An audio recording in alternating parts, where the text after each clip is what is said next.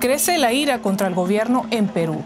Ya se cumplió un mes el intento de autogolpe del expresidente Pedro Castillo y la violencia contra el gobierno de la presidenta Dina Boluarte se refleja en una trágica cifra, 48 muertos. La jornada más letal fue este lunes en la ciudad de Juliaca, en el sur del país, en donde 17 manifestantes murieron por impacto de bala. Un policía fue además quemado vivo en su vehículo.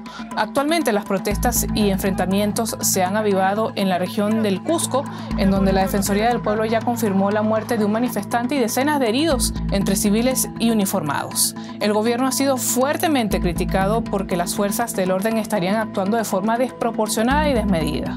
Se han reportado también que la policía, al igual que pasó en, eh, hace dos días en la ciudad eh, de Juliaca, en Puno, han seguido disparando contra los manifestantes, han hecho uso de bombas lacrimógenas y de perdigones, y por eso es el reporte de heridos. Desde el inicio de las protestas, el lineamiento del gobierno, más que de una apertura al diálogo, ha sido para reprimir a los manifestantes y no atender eh, lo que están solicitando. Si bien se abrieron algunas mesas de diálogo según la Defensoría del Pueblo desde el 7 de diciembre, eh, la población no confía en el Poder Ejecutivo y con las últimas muertes la situación ha empeorado mucho más. La Fiscalía de Perú abrió este martes una investigación preliminar contra la presidenta Dina Boluarte por los presuntos delitos de genocidio, homicidio calificado y lesiones graves a raíz de la gran cantidad de muertos y heridos en las manifestaciones en las últimas semanas.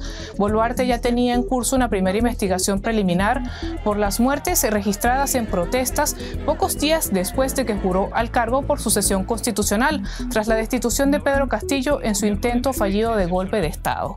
Pero las denuncias no acaban allí. Algunos expertos también señalan que la violencia policial evidencia un odio y racismo soterrado que se vive en el país, pues la mayoría de los muertos son de ascendencia u origen indígena y de clase trabajadora. De hecho, las poblaciones en la región andina y sureña de Perú, en donde se están dando los enfrentamientos más violentos, también están entre las más desfavorecidas del país. No creo que haya un problema de racismo puntual aquí dirigido contra un grupo de personas específico en estas circunstancias, por eso también me parece que es un despropósito, que es excesivo lo que es aquello de lo que acusa la Fiscalía al gobierno de, cometer un genocidio, no creo que haya indicio de eso, pero sí creo que se puede hablar de un problema de, racismo y discriminación estructural, que es histórico, que siempre ha existido en el Perú. En este caso se manifiesta así, que la respuesta del Estado es más dura eh, en estas regiones donde la gente es más pobre, más desfavorecida, donde hay muchos grupos indígenas y el Estado pues eh, da una respuesta mucho más fuerte.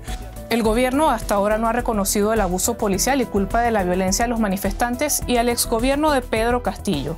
Hay decenas de heridos entre los uniformados por ataques con armas caseras y al menos un muerto. El primer ministro Alberto Otárola dejó claro que no están dispuestos a ceder ante las movilizaciones, pero los manifestantes tienen previsto continuar con sus protestas.